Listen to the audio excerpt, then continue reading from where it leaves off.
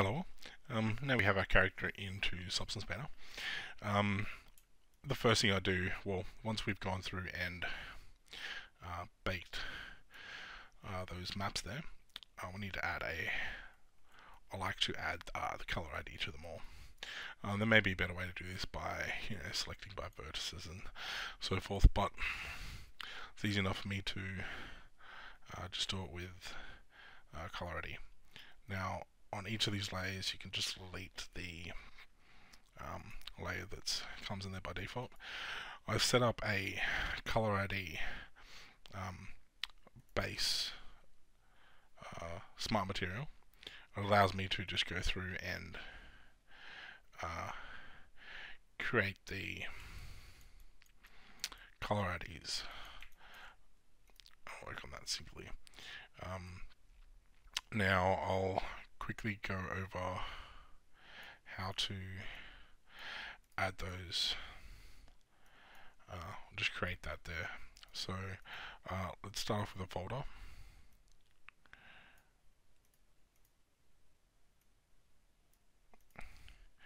And uh, we also want to just start off with, um, um, I think they're just uh, fill layers. So to start off with A, just add a layer. Um, I'll do that in the folder and put that in the folder. Um, create this one as a black.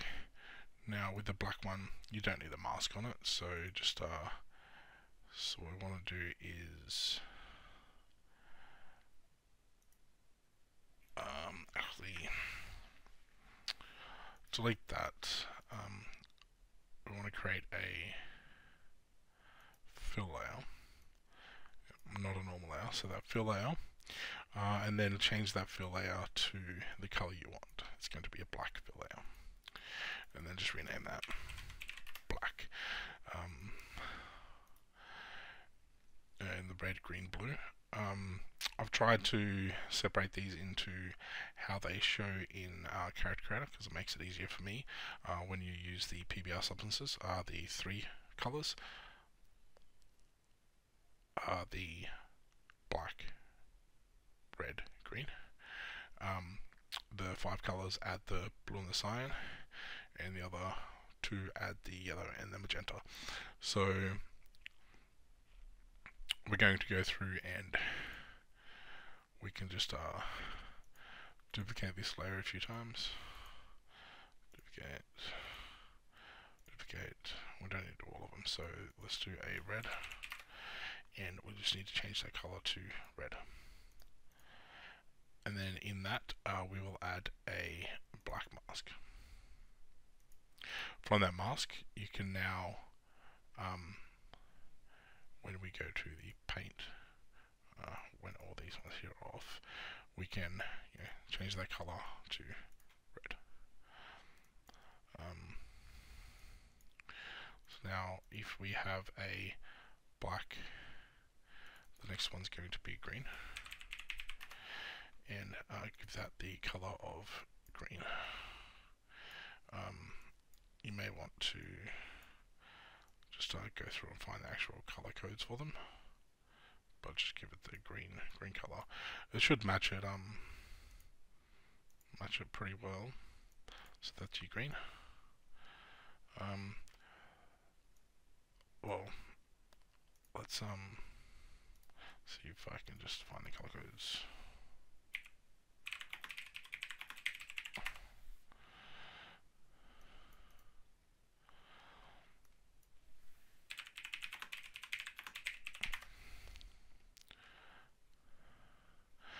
So,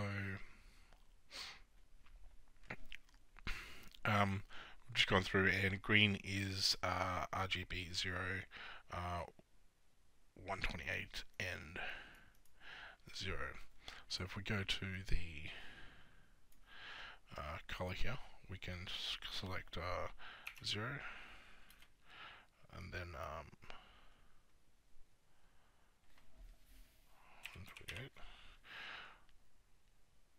Uh, no. So what we do here then is, is this one here. So we go 0 there, and the green you want uh, to be full one. So that's your green. Um, and for blue, um, should be able to just fill in the the blue. For the other colors, just go find the codes you need to, or make it the. So we want this one to possibly be you know, cyan, which is a lighter blue. So if we go to uh, one for the blue, uh, the cyan's down here, so that'll be your cyan, and then magenta would be up here. So with them done, um, turn them off, and you've added the um, add a black mask to them. With that black mask added, uh, in your tab on the left side, uh, if you've got the set out the same way, um, just find your uh, polygon fill, and from that polygon fill, we've got um, in the properties section, uh, we can uh, let's uh, let's take that. Okay, so um, minus will subtract, plus will add. Um, if we add the UV uh, chunk fill, that will fill the whole layer. So, and then that will reverse the whole layer. Um, if we use the mesh fill, it will fill the whole layer there too. Um, now this one here is the polygon fill, and it will just fill the polygon that you select. So you could have um, color maps like that with checkers in it if you want to. Um, and just to remove all of them, that all the other way, uh, this fill mode is the um, is the triangle fill. If you have triangles, it will it will fill the triangles. Uh, also, when when you have squares, they are indeed actual triangles. Uh, so you'll be able to fill your mesh like that. Um, so that's how I'll be doing doing this. So it's best to create a create them. I'll call it your color uh, ID, and then once that folder is saved, you, well, once that folder is created, you can now, uh, if you right click on it, um, go to create smart material, it will create your smart material in there for you. Um, so then you'll be able to use your color ID always, as I've just um, uh, just drag ID on and up, and then I just go through and make sure that it doesn't have anything. Um, I like my my belts to be green, um, and uh, for now that that buckle can be red. And let's make sure we get all the, the stuff filled. Um, and we will as base. Um, I'm going to go through and skip all the rest of them. Um, but once you've done that and go go through your own models, um, I'll fast forward through the uh, rest of the stuff that I do.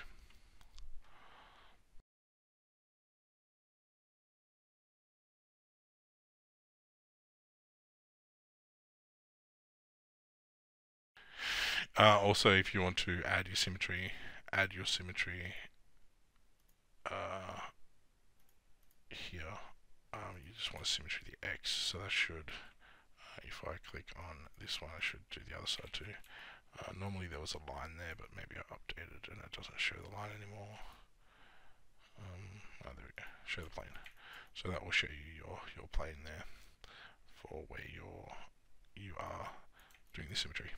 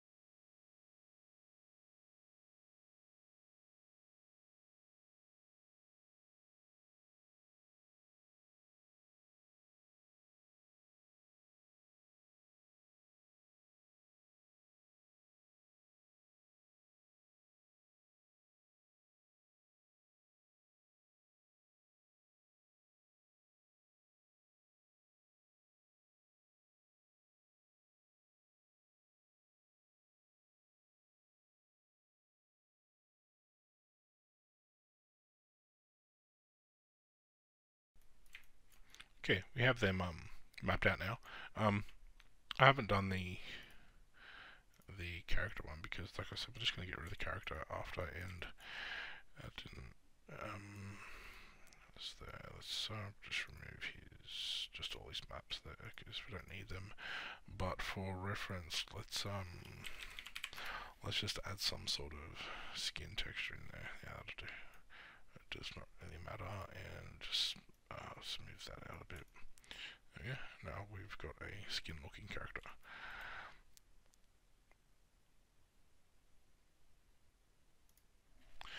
Um, you can change the color of your skin to whatever you really want it to be. Also, if you need it for display purposes. But for now, let's uh, let's just leave it on the generic one. That that's fine for use. It doesn't matter who's wearing the clothing. I just need to get a representation of where everything's sitting. Okay, um, alright, so now we've got all those um, color IDs. We're going to um, go and uh, export uh, the textures. Um, now while exporting these textures, I want to create the, in the Templar, um, I want to create a folder called textures. Um, and all those other folders we're going to just add into models folder. I can't drag all of them at once because I've got this folder open, but um, just add all your folders into the, the models folder. We'll find them later. And there you go.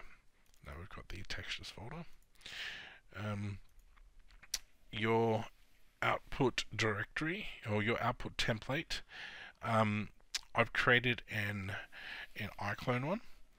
Um, this, I've followed a tutorial somewhere, I can't remember where, if I can find that tutorial I'll add that in.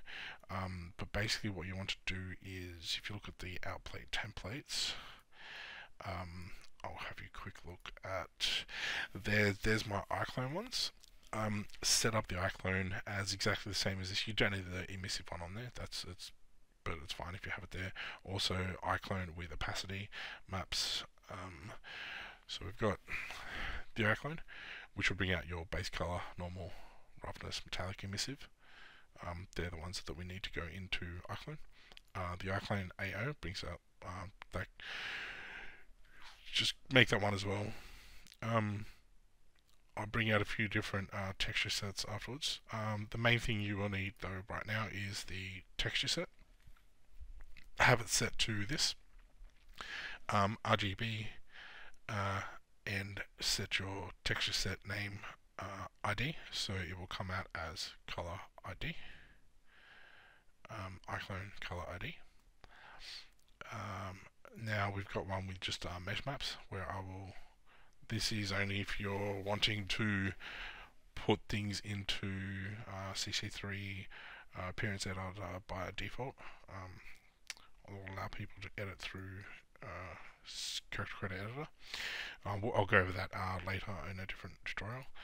Um, now I've also got a normal maps for just bringing out my uh, stitches um, that without actual without the clothing normals on there. Um, this is also only for uh, if you're doing it in uh, through appearance editor, but we're not going to do it that way. So the main things you will need to know are right now iClone color ID. So pause it, set yourself up exactly the same as this, which is just a, a base color, but it's color ID, and then your iClone, um, your base color emissive, uh, metallic, and roughness uh, with normal open GL, uh, and have those set to those those names too if you wish. Um, so now we can just go through and I'm going to select all of them except for the APOs. Um, all the rest is fine, you don't need anything else, so it's going to my folder Templar. I'm exporting the uh, the output template as uh, iClone color ID and I'm just going to hit export. Um, now we've exported that, uh, open your directory folder, and we now have all of the uh, the color IDs.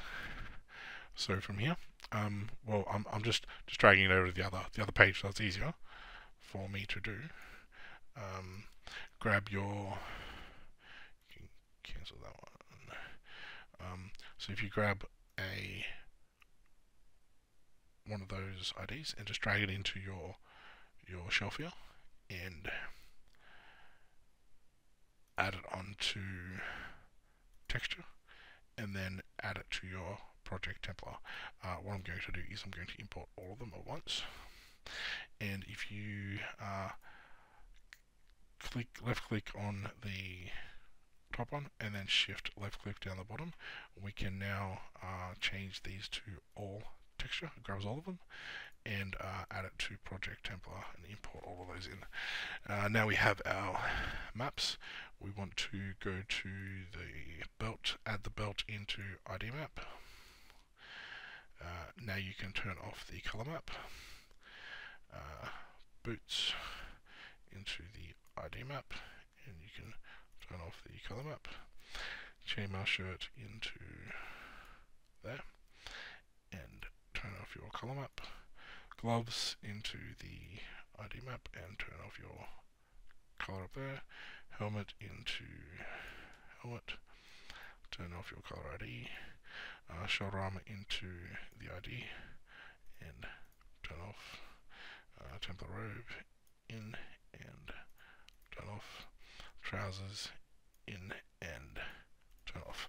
Now what this will do is allow us to um, add in some textures. So we're going to add all these base textures in and just start getting this done now I'm just going to show you with the how this works with the belt. So we're going to grab a material. I want a leather material. I've already downloaded a few from um, Substance Source and Substance Share, which I will demonstrate in a minute, or maybe next episode. So I want, want some type of leather. Thinking maybe. Let's see how that looks drag the leather on. Um, when you bring them into, they're always going to be too small, so you need to increase the size you want it to. Yeah, that's too. I don't like that leather. Um, a leather that I do like, I believe I got it from Substance uh, Share, which is uh, a free repository. So. So the leather is um, just this uh, stylized leather here. Um, also leave the leave the ID there because we may need to make changes to the color ID later. So it's always good just to leave it there and just, just untick it. Um, so now we've got this uh, stylized leather. It comes out and it looks alright. There's no not much bump maps going on there, but looks pretty good. Um, the other thing I like doing is with the leather. Um, grab this leather damaged and just add it in but we're going to add it in right at the bottom of uh, this texture set like underneath the base so it's going to just uh, show us the uh, the leather pattern which I want to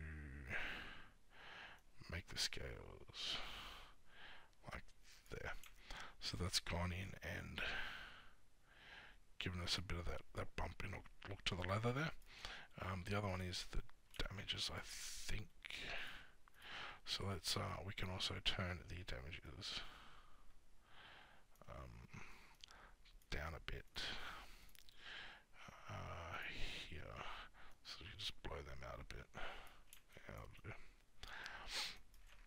okay, um, now that we have our leather, you can see that the leather has now has just jumped on there and gone onto the the buckle as well.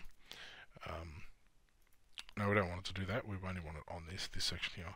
The reason why we set up those color IDs was to be able to do this. So if you right click on it, add a mask with color selection, and then you grab the color selection here and pick the green. Now that will show only on your um, the the leather belt bit where we selected that that color was green. And for the belt buckle, uh, let's see if we can find a metal material. Um, steel rough should be fine. So we add the steel rough on. It's going to go over all of it um, and just add a mask with color selection and add that to the red layer. So now that just goes onto the red layer there. Now we're going to add add in more more details to these later. This is just giving us our base substances to work work from. Um, I'm definitely going to add in some stitches. Uh, the stitches I do through Substance here, and I've uh, found a nice little stitch tool, and uh, I'll, I'll, send you the link of that. I believe it's paid, but I only paid about um, three three dollars or four dollars for it. So um, it's very handy. Or I can also show you how to do stitches uh, for free um, by using uh, a few separate methods. But the stitch tool is just so much easier and I prefer it that way. Um, so now we have that done. That That's how you go through and you add now your clothing to your bases to it. Um, I'm going to leave the tutorial here for now and I'm going to add a tutorial. Well, let's uh, let's save this first. Let's make sure we have it saved as our Templar. Um, you may want to go through and start saving different backups uh, at separate points.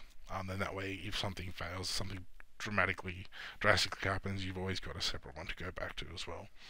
Uh, always save, save, save, save, save, and then back up your saves because um, yeah, hardware failure. Um, it's, it's, it's just sucks. Right. Um, now we have that belt done. Like I said, uh, I'll leave this uh, video here, and uh, I'll see you in the next video. Uh, I'll just be explaining um, where to the best way to get uh, all your um, substances from. See you guys.